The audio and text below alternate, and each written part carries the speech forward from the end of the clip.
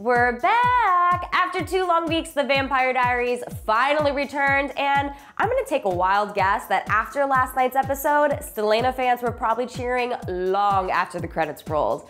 I'm your TV expert, Ciara McVeigh, coming to you from Hollywood, and you're watching the Hollywire Hot Minute.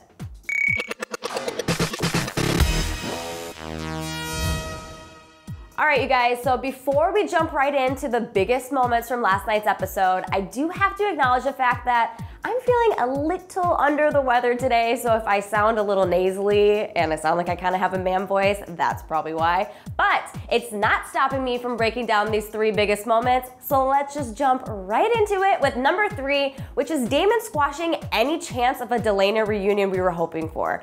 All I gotta say is, way harsh, Damon. Damon. No, I'm serious, Elena. I can't see you anymore. I don't want to hear your voice. I don't want to talk to you. I don't even want to look at you. And I sure as hell don't want to be your friend. Coming in at number two, the passengers have completely taken over Mystic Falls, including the body of our favorite werewolf, Tyler. By the looks of it, Markos has something really, really bad up his sleeve, and I'm just gonna say that I'm just not into it at all. It's not a bad upgrade either. This body is incredible. Don't get used to it. Once this is over and the town is ours, I know. It's gone. Speaking of Markos, our number one moment from last night's TVD is definitely Stefan and Elena's epic romantic fantasies that pretty much left Stelena fans freaking the heck out. You guys, I'm talking married with children. I love you. I love you too.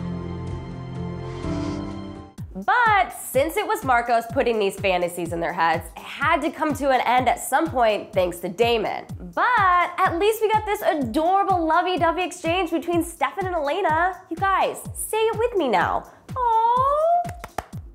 I'll always love you, Elena. I will always love you too.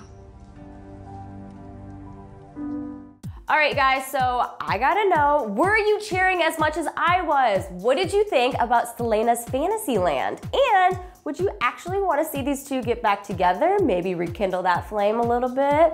Let me know what you think in the comment section below. Don't forget to subscribe to Hollywire TV because I kinda have a feeling it might make me feel a little bit better. And like and favorite this video. For Hollywire.com, I'm Ciara McVeigh, and I'll see you guys later. Bye. Guys, this is how sick I am. I have tissues in the green screen room and I should have brought some tea and some emergency, but you know what? I am not missing Vampire Diaries. It's been two weeks that I haven't got to hang out with you guys and I am not missing this. I missed you, Damon. Watch out, Damon. Boop, boop, boop. Just, ugh, just that. Oh, Damon, you're so silly. Just running around ruining people's fantasies of love and stuff.